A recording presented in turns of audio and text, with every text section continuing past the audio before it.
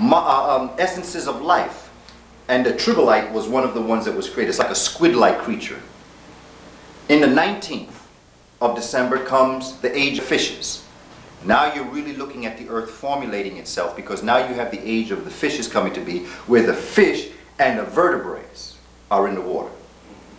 On the 20th, the plants colonize land. In other words, this is where organic life comes on earth.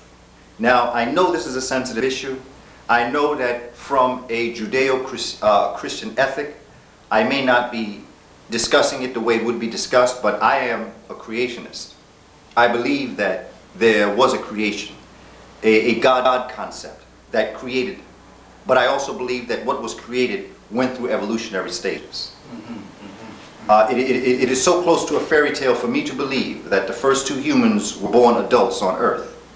That's like trying to get me to believe that there was a wolf that ate Little Red Riding Hood's grandmother and was in the bed waiting for Little Red Riding Hood. I have as much chance believing that story as I would a story of a human being being born as an adult. And it is time now, at least in my, uh, in, in my perspective, is it is hard for me to continue this. Uh, it's like winking at stories so that we can get children to believe them. Mm -hmm. And I think it's time that we come to a reality that there was an African God concept. And that this concept evolved and went through stages. And the proof of it is that we are going through this stage to this very day. We are getting better. We see our young people smarter today than we were. I remember our adults telling us that we were smarter than they, were. And I remember my father telling me that his father used to say he was smarter than his father. And that is because every generation is born with all of the information of the preceding generation. Hopefully, each generation should get better by the nature of the improvement of that particular uh, generation's knowledge and wisdom. So I, I come before you with this information only to share it with you. This is not a belief system. I believe that I'm deeply spiritual, but Adam and Eve is just not a story that I can feel comfortable with in believing how I came into existence, particularly when I see so much evidence to the contrary. On the 22nd of December, the winged insects, uh, the winged insects, the amphibians, amphibians being these reptiles now, uh, uh, these fishes, who are now coming up out of the water, and they're using their their fins as sort of like feet. Because remember the water is um, is now drying up on Earth, and they need there are ponds created that they got to get from one water level to another, and that process sometimes made them go on land, and they would just crawl across. And those that survived were the ones that continued. The ones that were caught on the land and didn't continue. So survival has a lot to do with the evolution of life on Earth. So the 23rd brings us in the age of the reptiles. Trees begin uh, to grow, and then you have amazing growth patterns in, in geometric progressions. In other words, by geometric progressions, meaning that many things are happening. It's not going one, two, three, four, five, six on down. It's going two, four, 8, 16, 32. It is by multiples that life is, life is beginning uh, to grow. The 24th, the dinosaurs are born and they lived for 160 million years. Now, when you think of how long we've been around, look at how long the dinosaurs were around. And look at the arrogance that we have to think that we will be around forever. There are essences of life that once were on Earth. Now, dinosaurs to me is in question. I wonder whether or not dinosaurs existed. I still have, there's still a lot more work to be done in terms of exactly who the dinosaurs were and what they were. And I think that we have, we have got to look at this. On the 26th of December was ushered in the age of the mammals. Hmm. Now the difference between a reptile and a mammal is that a reptile has the womb on the outside, which is the egg. And the mammal has the womb on the inside. Because when we left, reptiles are cold-blooded and humans are warm-blooded.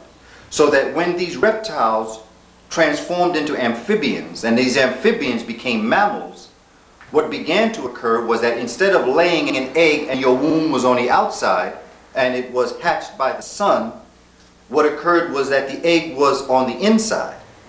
And there was a relationship developed between the soon-to-be born essence and the mother of the essence. And it was the mother that nurtured, and it was in the womb that the God concept and consciousness began to develop, and that is why it would lead to other kinds of formations that eventually became us as human beings. Mm-hmm. Our original state, we all were once plants. And from plants gave off organisms that would probably later become those essences that would then come out of the water and become. So we all come from a long line of a great creative force. But we weren't born as adults, at least as far as I can see. We were born and we evolved. And, it's, and we don't evolve. Consciousness evolves. We just happen to be the vehicle that consciousness chooses to evolve into because we have all the things that are necessary. And when we talk about some of our, our distant relatives, you'll see how we were chosen quite by mistake. It wasn't done because we were destined. We were destined, but we weren't destined the way the other forms were destined. We, we don't have a specialization. Every animal form has a reason to be on earth. We have no reason to be on earth.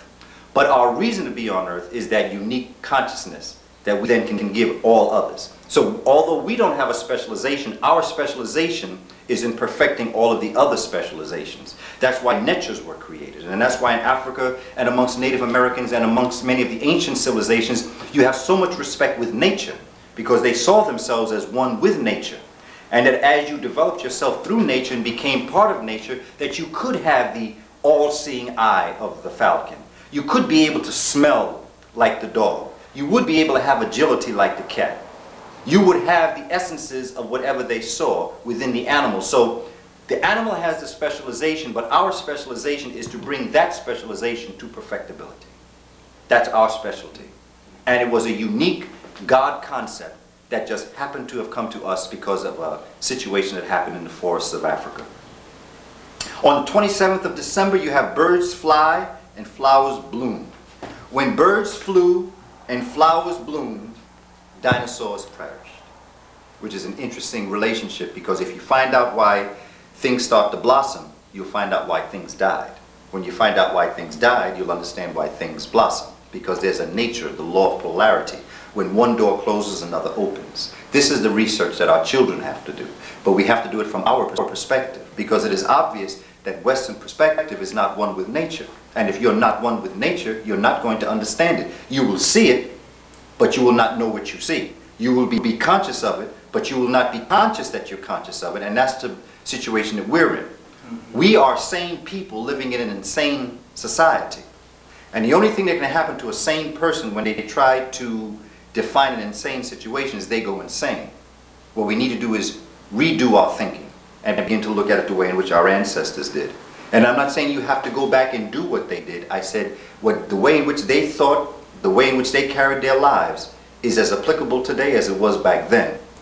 I don't, I don't necessarily encourage to go back and build pyramids, but I do say let's take the math and the engineering that built the pyramids and see what we can do in the 21st century. On the 30th of December, the human ancestors living in Africa.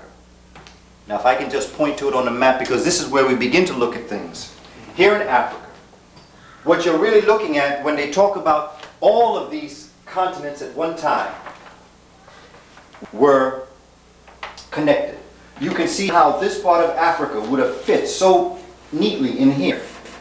You see how Madagascar here fits so perfectly in here. If you move Australia over, you'll see how all of this could have fit. If you condensed all of these continents into one, what we call it in science, we call it Pangaea. The ancient Kemites called it Ptah, the first hill that came up out of the waters of Nun. This is the story that we see here. So when we're looking at the, the history of the cosmos, what we're actually looking at is the fact that all of these continents were connected and that Africa, rightly so, was in the middle. So if in fact Pangaea was one big mountain coming up out of this water, chances are it would have been this region right here